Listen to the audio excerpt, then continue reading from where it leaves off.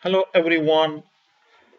In this session, we will do installation of Oracle EBS release 12.4 on the Oracle VirtualBox. But what we are going to use is we are going to use the VM Virtual Appliance, which is available from Oracle. So that will reduce our timelines to install any EBS for our testing purpose. So let's go to next our slide and we'll follow step-by-step -step process on that. And I'm going to use my laptop for that. So what another thing is we don't need a DBA skills for that and very simple process for EBS installation.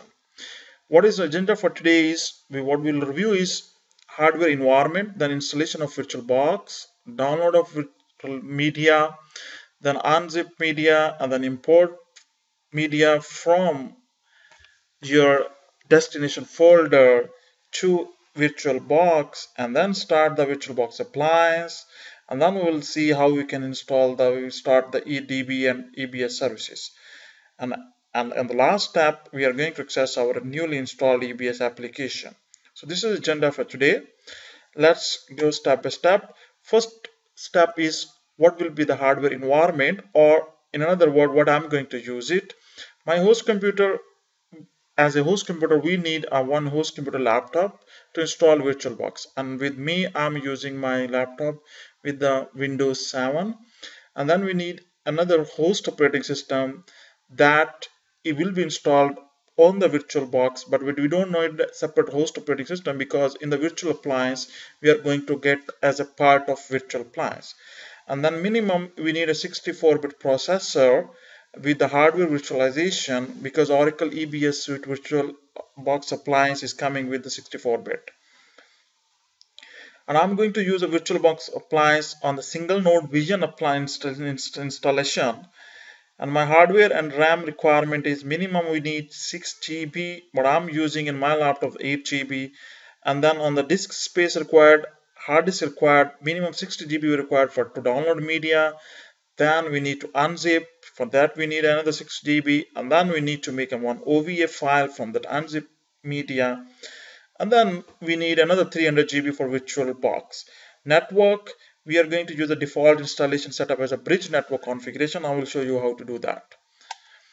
Now, first step is to download install VirtualBox. So for that, what we will do is we will go to OTN Oracle Technology Network website and we will install, download the VirtualBox and after the installation, after the download, then as a second step will follow to install the VirtualBox. If you can see, we'll go to the VirtualBox and click on Next tab and you will find Oracle VirtualBox setup guidelines and you just need to choose the default setting. If you want to change or if you some location, then you can change it, but otherwise don't need uh, I will follow the step, click Next and then we'll go to the next slide.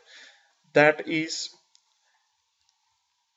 to download VirtualBox appliance from e-delivery website. And you can you need to write down in your web on the internet explorer e-delivery.oracle.com and it will give you the success this page. And then you need to log in with your username and password which you have with for you or your company. Because whoever is having oracle support access or he's having a licenses of that any product he, he must have access on that and next go to the next step that is to download a VirtualBox appliance. We'll choose the select a virtual product as a which Oracle VM template.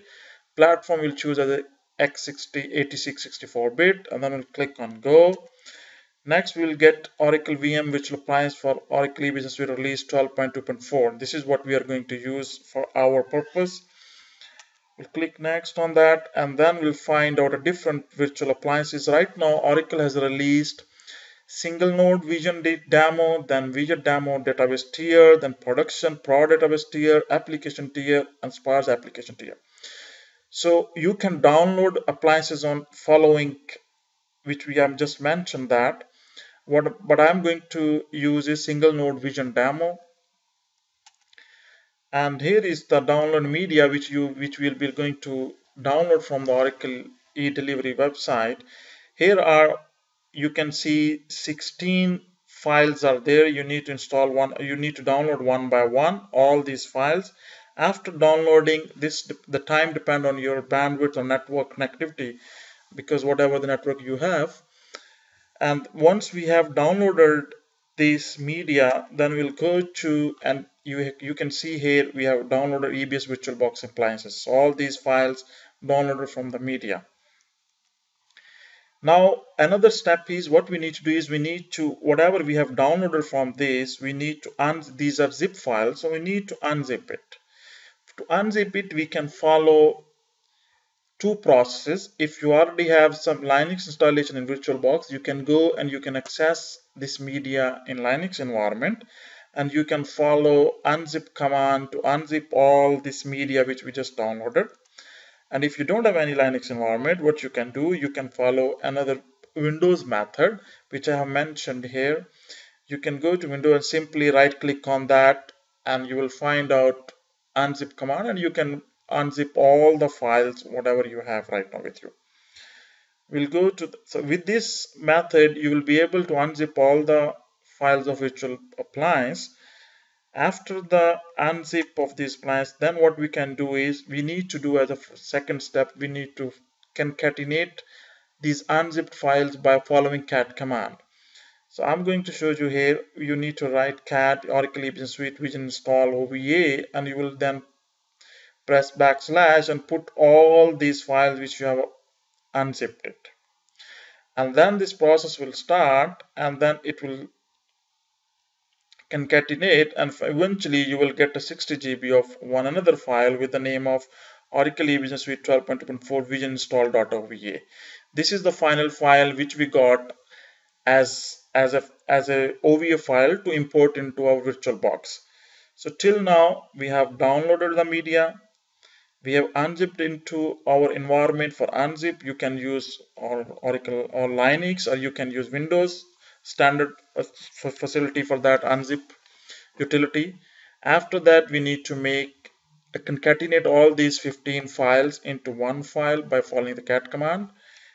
And this is what i'm follow i'm using it cat command as in linux environment. And if you want to use in the windows you can go and you can use the copy command with the switch slash y and slash backslash b and then you can put all the files name which you have downloaded 15 OVA files and this will give you a concatenate one file of OVA. So both method I'm, I'm showing you here. Then what we'll do, we'll go to the next step and we'll go to import VirtualBox appliance and we'll go to appliance to import and here we'll go and we'll choose our EBA Oracle Business Suite file that's OVF file and click on open. Then we'll go and we'll you can see here Oracle OVF file is there. We'll press next. And then here we can adjust VirtualBox settings based on resource available. Because if you want to increase your hard your RAM you can select here uh, you can choose the destination file where the, your VirtualBox will be placed that you can change it. After changing the appliance settings then you will click on next and you will find out that, soft Oracle software license agreement that will say agree. And then we'll go to and it, in this way the import process will start. Here you can see the importing virtual disk, disk image EBS 12.44 vision install. I'm just showing you these screenshots that this process is happening. After this process will complete you will we will find out here is our imported file into VirtualBox now during import process it can take more time based on your RAM on the laptop. After importing into VirtualBox now we can do we can simply just click on the start button and here is the VirtualBox is starting up. Start your VirtualBox and here you can see Oracle Linux server 6.5 is starting up after the start of this we'll go to next and we'll get a prompt for EBS login here is the EBS login. Now, what we need to do is we need to enter the password for following users. A root user, Oracle, APPLMGR. So I will show you here, we'll enter the new password. I've entered the password for the root user and I got a message that it's a dictionary word but okay fine we can go ahead.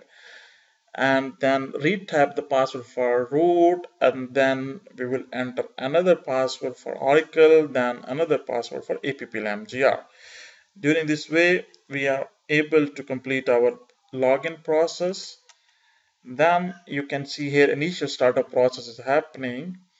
The database started up startup and then you can see here application configuration of templates are happening.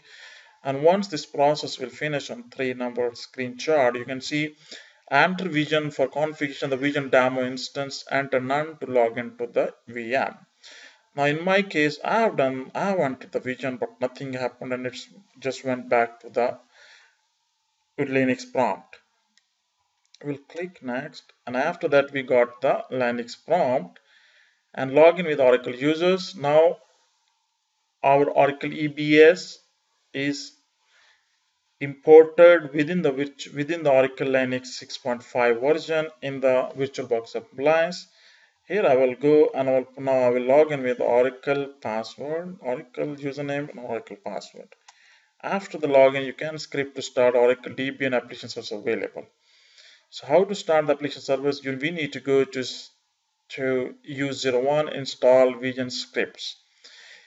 These are the scripts available very simple straightforward scripts are available in Oracle database and application services to install to startup on this location. And what as a first step I'm going to do is I'm going to start Vision DB so I'll put this command and then I'll enter and we'll go to the next command. Here is you can see the database just starting up after the database started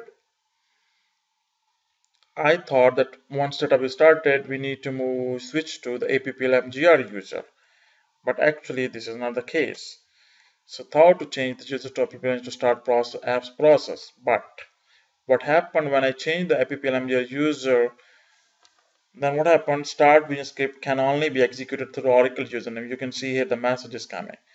So after that, what we have to do is I have what I did is I have login back to Oracle user and then here is start vision apps another scripts we need to follow and then after executing this start vision app script you can see application is being started and here is finally also started and you can listen songs because during the application services services startup it will take a time and we'll go to the next step here Till this level, our database and application is started successfully with no error in Oracle virtual VirtualBox.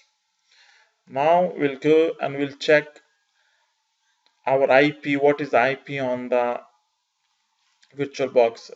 Even this task you can do it before, but I, am I'm, I'm before starting importing the appliance. But what I'm going to do, I'm going to in this stage if command is equal to the IP config in Windows which we used to do it. So if if if config is used to configure or view the configuration of network interface. Here you can see my IP is 192.168.113 and after getting this IP I will note down and then I need to go and I need to check my host name of the EBS URL use vEditor command. This command will give us host name. So here is the IP and then the ebs.example.com that I also need to note down. And these are the commands I have written for you guys if you want to exit how to exit uh, from the VI command editor on the Linux environment. It's very simple just I need to quit all file opens so we need to to use this command after that we need to go to our laptop and we need to access Windows, System32, drivers, etc. and host file. In host file, we need to put the IP and then the URL name. After entering into 12.2.4 VirtualBox appliance, IP into the host file. We'll go to the next screen and we'll open the Internet Explorer. And Internet Explorer will write on EBS .example.com with the 8000 as a port number and we'll get you know we we can see the first login screen so it's we are successful and we are able to establish our EBS on the virtual box. then we'll click on next or we will enter the username and password and you can see here we have successfully done it EBS 12.24 version installed and readily available and you can see we, we don't require any apps DBA skill to do all this installation. We'll go to the next action items. Now what we need to do as call for action for you guys because I have done it. Now I want you to go back to your laptop and download today VirtualBox appliance and follow step-by-step -step installation guidelines. Must update me by posting your comments on this thread and I will love to hear from you what have you faced it how you have done it okay and then if you feel it's any issue do let me know we'll help you out and then last join today oracle tech talks.tv these are the reference notes being followed for this installation. You can see a few of the notes on the my oracle support and then few of the blogs reference from the Steven Chan Black. And then you can see your VM template in VirtualBox and the photos used on this presentation are from the flickr.com photos. I really appreciate your patience with me and with this way our presentation is finished. Thank you very much. Have a good time. Bye bye.